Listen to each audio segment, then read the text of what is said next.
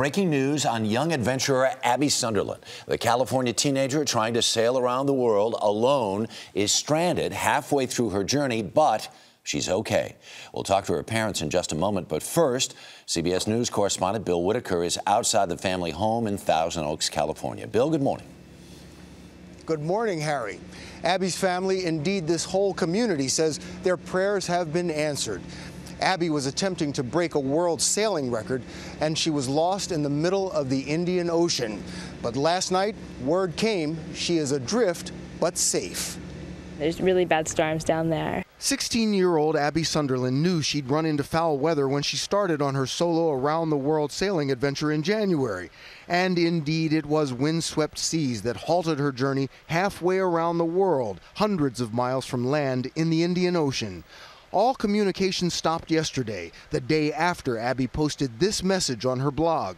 I've been in some rough weather for a while, with winds steady at 40 to 45 knots with higher gusts. Qantas Airbus found her at daybreak, guided by signals from emergency beacons. The mast has been knocked down or torn off the boat. They did talk to Abby by VHF radio. She says she's fine. Winds have reportedly died down, and Abby has plenty of food to tide her over until the closest boat can reach her sometime tomorrow morning.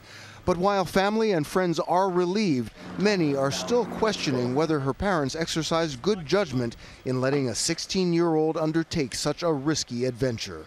I'm not by any means condemning their decision to let her go, but there, there are huge risks, as they are with any sport where, where you're on the extreme edge. This isn't the journey's ending Abby was hoping for, but it is a happy ending nonetheless.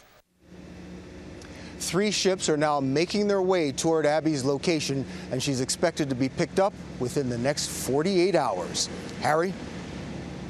Bill Whitaker in Thousand Oaks, thank you so much.